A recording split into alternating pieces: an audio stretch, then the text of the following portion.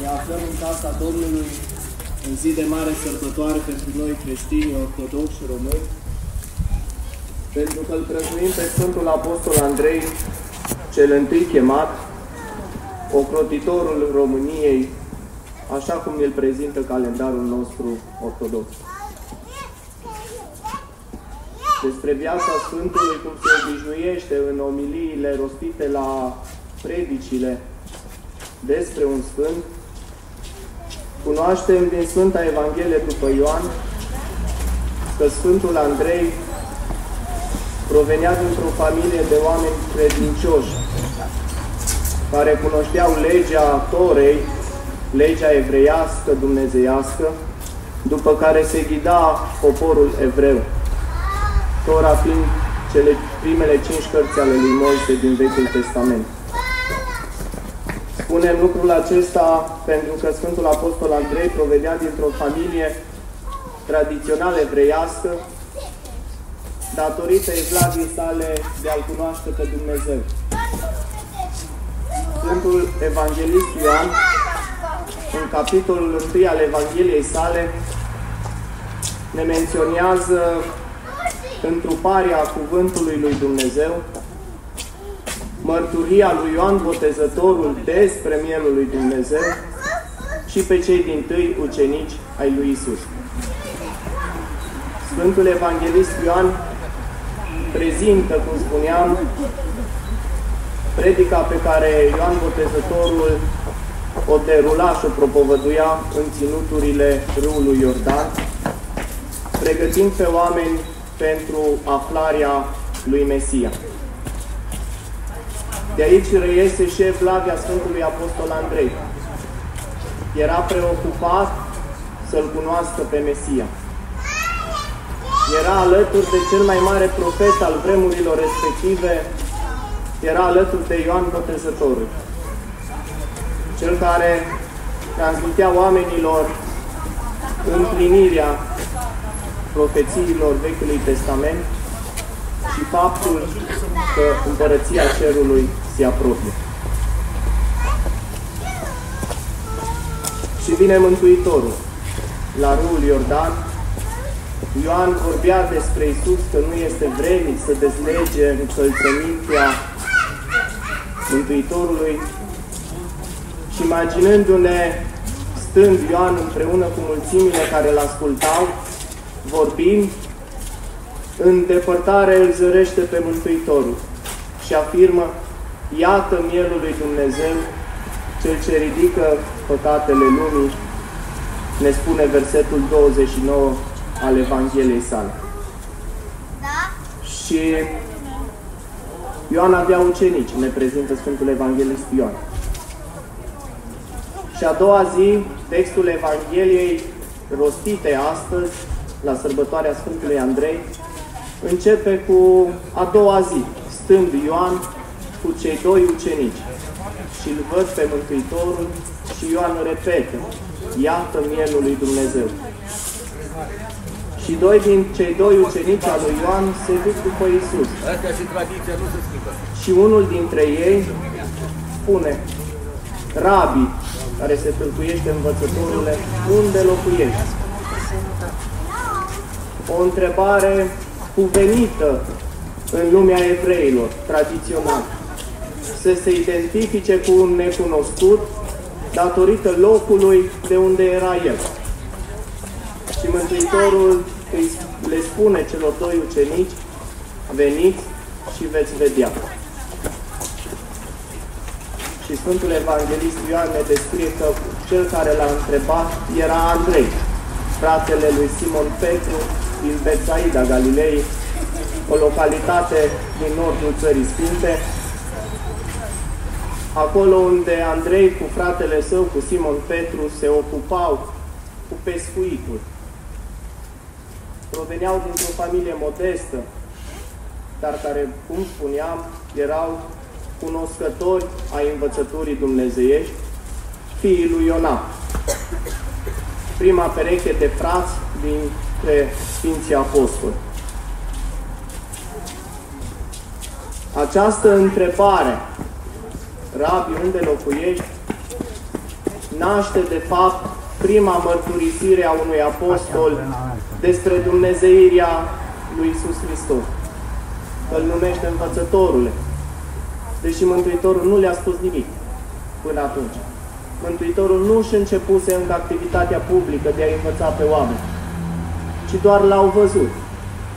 Și în inima lor l-au recunoscut ca fiind Fiul lui Dumnezeu.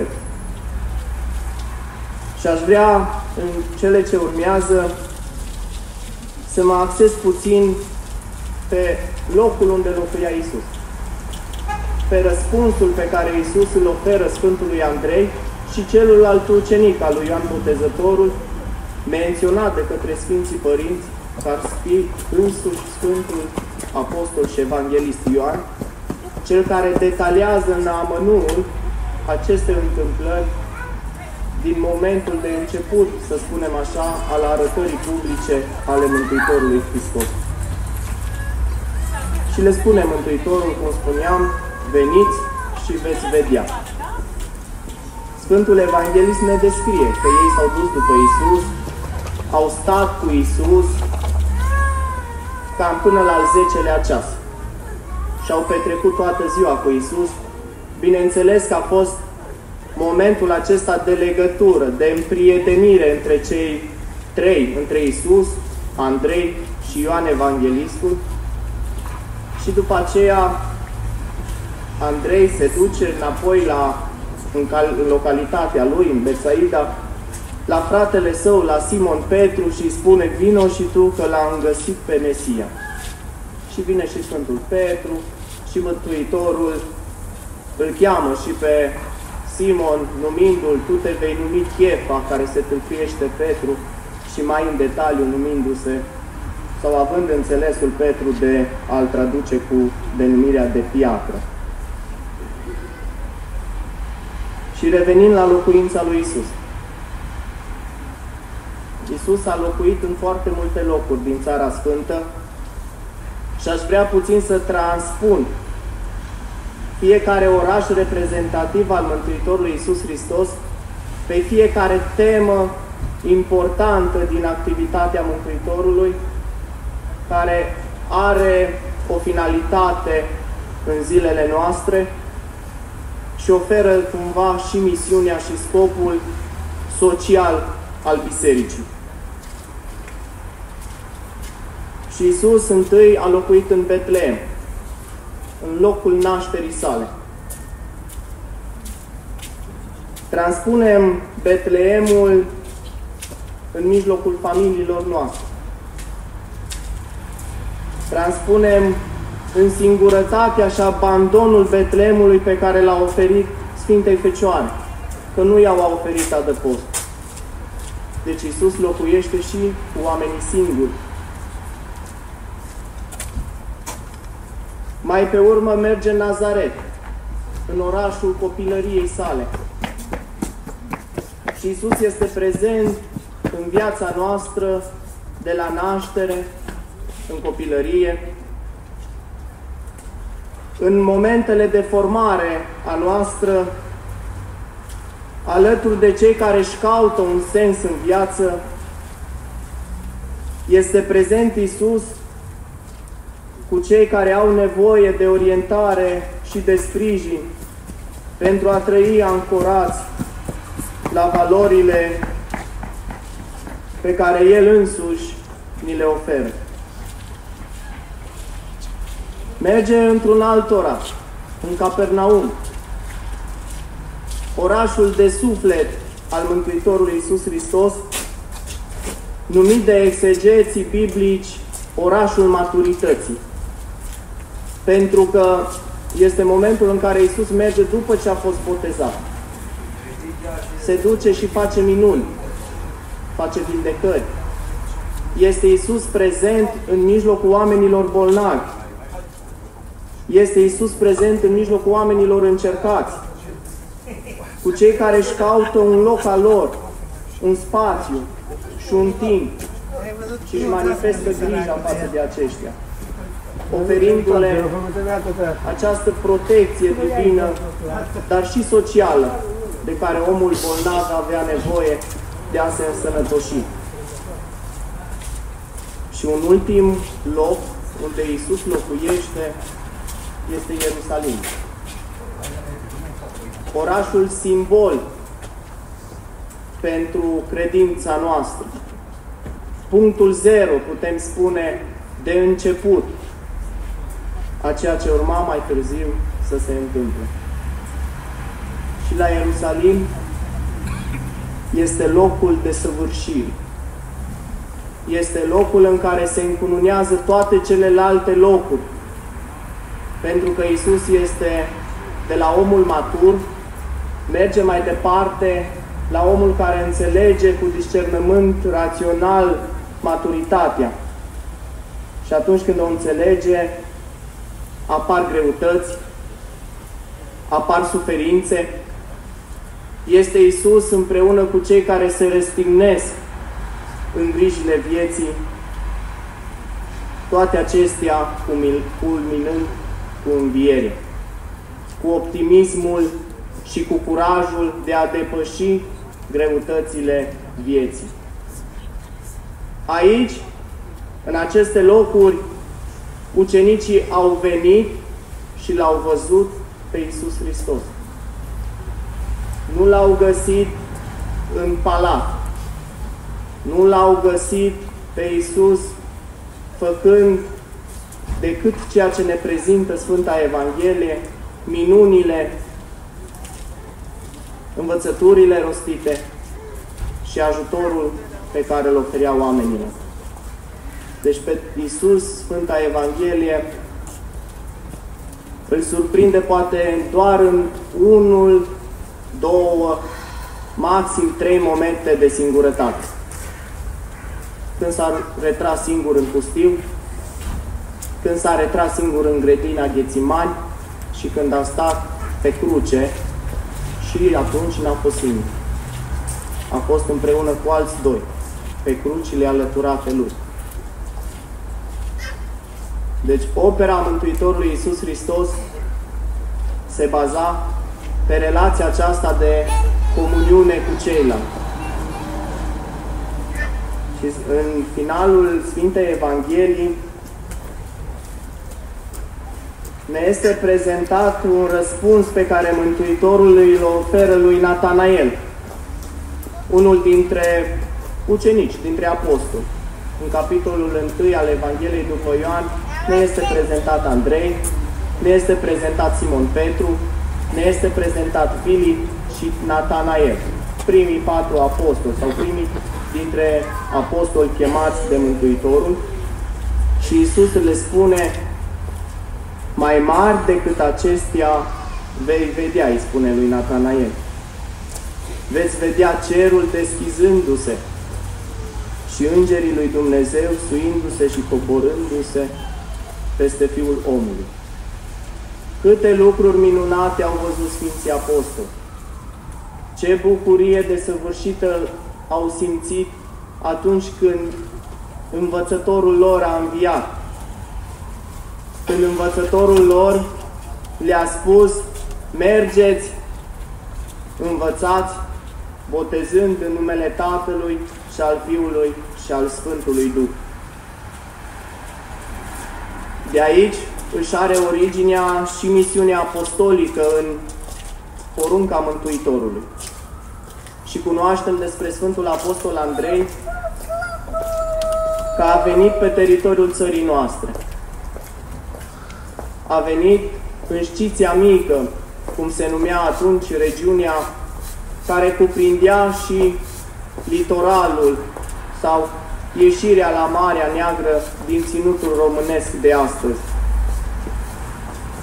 Și a venit la strămoșii noștri și a adus credința creștină pe teritoriul viitoarei Românii. Subliniez acest aspect al viitoarei Românii. Și vreau să vă spun faptul că Sfântul Apostol Andrei a derulat o misiune tot puțin diferită față de ceilalți Sfinți Apostoli. De exemplu, Sfântul Apostol Petru predica în piețe, în mulțime de oameni. convertea în număr masiv oamenii la credința creștină.